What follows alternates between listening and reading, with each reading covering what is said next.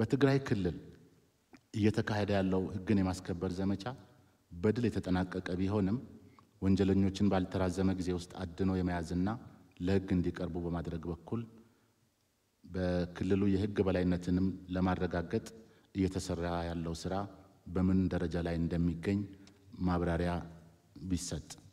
ነገር ግን ኮንሰርኑ ይገባኛል። በአጭር ጊዜ ውስጥ ግን ጠቅላይ ሚኒስትሩም ክሊር አቅጣጫ አስቀምጠዋል። ይሄ ቡድን ወደ ሕግ መቅረቡ እንደማይቀር ህዝባችንም ለዚህ ተስፋ ሊኖረው እንደሚገባ ማንሳት እፈልጋለሁ።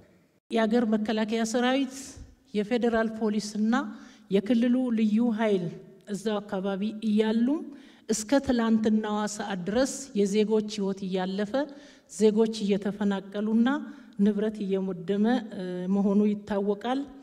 ይህንን የታጠቀ ሽፍታ ቡድን በገንዘብና በህገ ወጥ መሳሪያ እየደገፈ ያለው የትህነግ ጁንታ ቡድን መሆኑ በግልጽ ይታወቃል። አሁንም ህዝቡ ወደ ቀደመ ህይወቱ ተመልሶ ሰላም እንዲያገኝ በሰላም ሚኒስቴርና በሀገር መከላከያ ሚኒስቴር በኩል ምን የተደረገ ዝግጅት አለ? ማብራሪያ ቢሰጥበት። መሰረታዊ የግጭቱ source ምንጭ ከመሰረቱ ጁንታው ስለሆነ ጁንታው ሲወገድ ይሄ ግጭት እየቀነሰ ይሄዳል። ሙሉ በሙሉ ላይጠፋ ይችላል። ከዛ የቀረውን ደግሞ በጣም comprehensive በሆነ approach በደንብ በተቀናጀ መንገድ ከተሰራ ግጭቶቹ ሙሉ በሙሉ ይወገዳሉ የሚል ሀሳብ አለኝ። አብዛኛዎቹ ግጭቶችና ሁከቶች ደግሞ የሰላምና የደህንነት ተቋማት ሪፎርም ከተደረጉ በኋላ የተፈጸሙ እንደሆነ ይታወቃል። ስለሆነም በዚህ በኩል ለምን ውጤታማ ስራ መስራት አልተቻለም? ወደፊትስ የቅድመ መረጃና የደህንነት ዘርፉን ለማጠናከር የህዝብንና የሀገርን ደህንነት እና ሰላም ለመጠበቅ ምን የታሰበ ነገር አለ? ቢብራራ። የመረጃ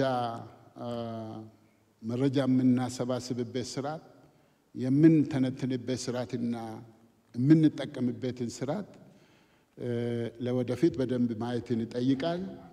ይሄ አንዱ የተቋማዊ ሪፎርም አካል ነው። በዚህ ዙሪያ በቀጣይ ማሻሻያ እናደርጋለን ብዬ እወስዳለሁ። ጠቅላይ ሚኒስትራችን ለምክር ቤታችን አባላት ላነሷቸው ጥያቄዎች ምላሽ በሰጡበት ወቅት የወቅቱን የጸጥታ ሁኔታ አስመልክተው በሰጡት ምላሽ ላይ ወጣቱ ትውልድ ሀገሩን የሚወድ ቢሆንም በውትድርና ስራ ተሰማርቶ ለማገልገል በሚደረግ ምልመላ ላይ ለመሳተፍ ያለው ፈቃደኝነት አነስተኛ እንደሆነ በአጽንኦት አንስተዋል። የዚህ ችግር መንስኤው ምንድን ነው? እንዲሁም ደግሞ መፍትሄውስ ምን ሊሆን ይችላል? የጥፋት ቡድኖች ደግሞ ይሄ ተቋም በጣም መሰረታዊና ወሳኝ መሆኑን ስለሚያውቁት ይሰሩበታል።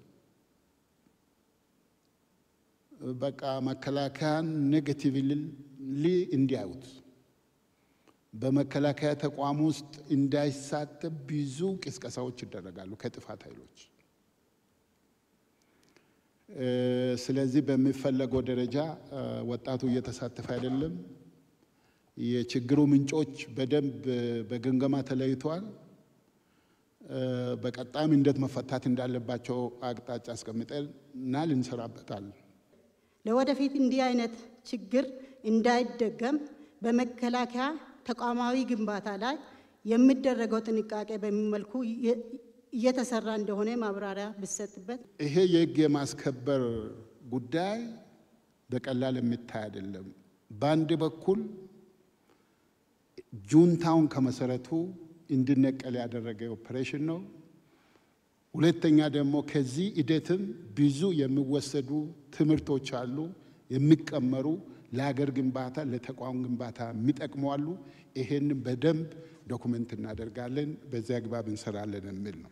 የሚጠብቀንን ሰራዊት የሀገሪቱ ኢኮኖሚ አቅም በሚፈቅደው መሰረት የኑሮ ሁኔታውን ለማሻሻል ሰራዊቱ የሚገባውን ክብርና ሞገስ እንዲያገኝ ለማድረግ በሚኒስቴር መስሪያ ቤቱ ምን የታሰበ ነገር አለ?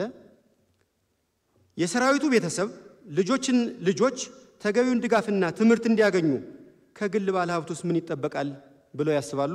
በተለይም ሰራዊቱን የቤት ባለቤት ለማድረግ በርካታ የጋራ መኖሪያ ቤቶች እየተገነቡ ናቸው።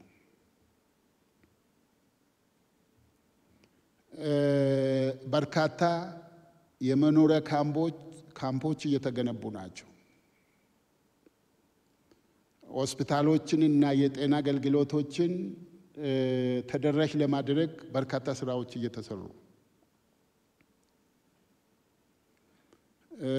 ሰራዊቱ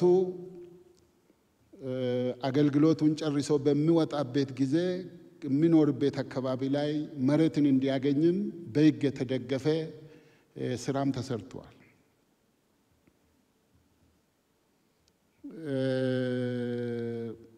በተልዕኮ አፈጻጸም ሂደት ውስጥ ሲሰዋም ደግሞ ለቤተሰቡ የሚደረጉ ነገሮች አሉ። ኢንፋክት ሊሻሻለው የሚችሉ ማለት ነው። ስለዚህ በአጠቃላይ መንግስት የሰራዊቱን ኑሮ የቤተሰቡን ኑሮ ለማሻሻል እየሰራ ያላቸው ስራዎች በርካታ ናቸው።